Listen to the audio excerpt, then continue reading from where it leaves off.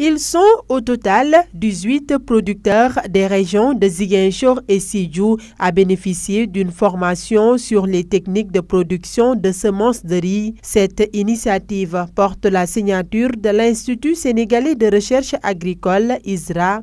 Dans le cadre d'un projet d'appui à la résilience face à la Covid, nous avons pensé le riz première céréale euh, doit être diffusé pour une amélioration de la production.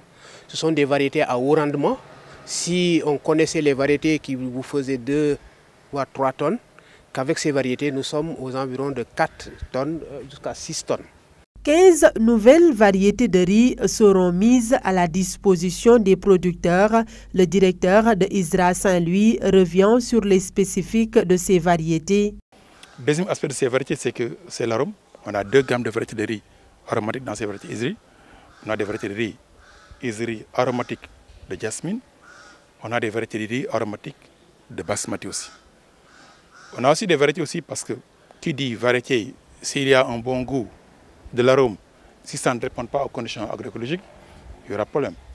On a développé aussi des variétés de riz tolérantes à la salinité.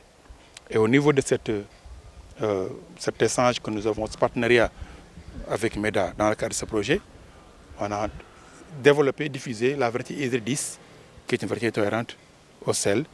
Et comme les producteurs l'ont témoigné, ça a eu vraiment des effets, de très bons effets pour, sur le sel dans ces zones-là. Ce producteur qui a essayé ces variétés l'année dernière confirme son efficacité. Mais aujourd'hui, je peux rassurer aux producteurs du Sénégal que la, gamme des 15 variétés de Isri euh, est vraiment la solution, la clé de la solution.